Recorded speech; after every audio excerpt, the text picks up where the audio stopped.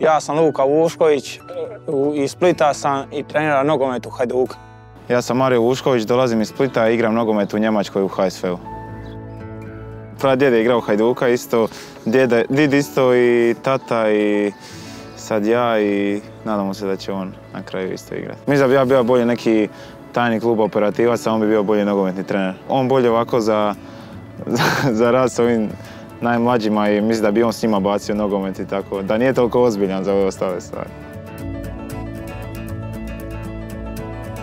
Pa otac prati skoro pa svaku, a Mario kad stigne i često zna biti kritika zato jer zna da igra neka loše pa mi oni kažu kako sam igrao, šta mogu popraviti i nakon dobrih utakmica me pohvale i to je to. Mama koja nema veze s nogometom, ona isto mora pričati o nogometu jer, jer to je stvarno ono svakodnevna tema u, našoj kući.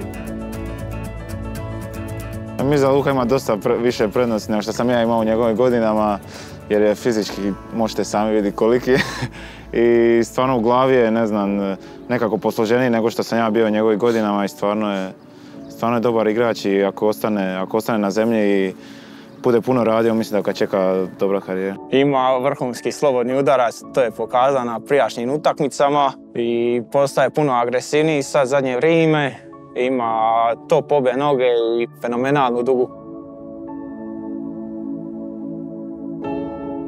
Pa najprije da mogu posuditi nešto o njega, bila bi duga i slobodni udarac.